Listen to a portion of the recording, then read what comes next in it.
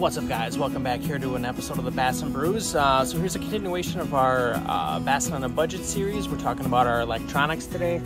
And um, this is just about setting up your Active Captain. Uh, I've already done a video on this, but uh, the app in the phone is updated a little bit. So I'm just gonna walk you through again how to set it up on your uh, Garmin unit, get everything going. Uh, I had to recently reset my unit anyway, so perfect time to set it up. So come along, I'll show you how to set up Active Captain. All right, so here we are on our unit. This is our 93SV UHD. Uh, so here's what we have to do to start setting this up. So first off, hit Active Captain. And this is just gonna start to walk you through what you gotta do. So initially, you gotta set up your own Wi-Fi network you're gonna connect your phone to. So first off, turn it on. There you go. We're gonna configure it for the first time. So this is just the name that this initially pops in. Um, we're just gonna kinda use this straight up. You can change this name to whatever you want, but we're gonna just move forward. It's now configuring that network. And you have to create uh, your own password here to start out with. Uh, just for the sake of this video, we are going to uh, just be super simple. I believe it was eight characters or less. So I would advise you to do something better than this for your um, password here, but we're gonna start with just that. So now it has created a Wi-Fi network. Uh, you can see that the Wi-Fi is turned on. You can change the name of it at any time, which is really nice. You can change your password at any time. And then advanced, this kind of tells you a little bit more you really shouldn't have to dive into this, but uh, right now your unit is set up for Active Captain, and next you have to set it up on your phone. All right, so here we are back in our phone. Now we need to actually download the app. So we're gonna go to our app store, start looking for Active Captain.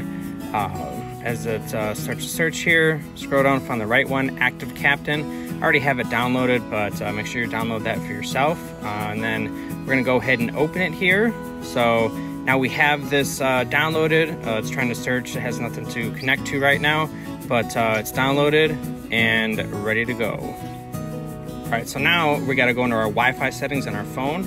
I swipe down and then hold the, the Wi-Fi there and go to Wi-Fi settings. And then that's gonna pop up uh, our whole area here. Now we're gonna find that Garmin 9551. That's what uh, it showed on our Garmin, that that was our name. And now we're gonna go ahead and put in our password. And uh, it is now connected. So now we are connected between our phone and our unit. All right, so now that we got that set up on our phone there and connected, uh, this is the very first prompt that pops up. Uh, is a new active captain user has been detected? Is it the owner of the vessel? And uh, definitely in this case, uh, yes. So this here, it already knows what my account is because of the uh, Active Captain app that we are connected to. So uh, we're just gonna be all done here. Uh, new Active Captain user has been added and we are working.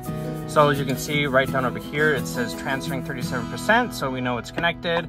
Um, uh, actually up here it says no mobile device connected because we're not, uh, we don't have the app open specifically on our phone right now but as you can see that uh, transferring is going up, so it is definitely connected and it is working correctly right now. Uh, we're gonna go back to the phone and open up the app and see what that shows us there. All right, so here we are back in the app. We've got it Wi-Fi connected.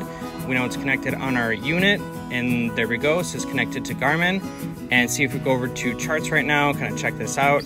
Uh, it does appear to be, you know, working. Here's all of our um, waypoints from our unit.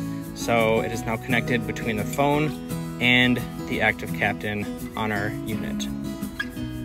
So there you have it. That's how you set up uh, your active captain between your Garmin unit and your active captain app on your phone. Uh, it's pretty easy, uh, pretty seamless setup here, and it works great. Uh, I really love uh, doing this. Um, it really, just having access to my maps on my phone is, is super awesome. Uh, make sure you check out this video here to help show you how to download your maps on your Active Captain. It's actually super important, so you're gonna wanna check that one out for sure.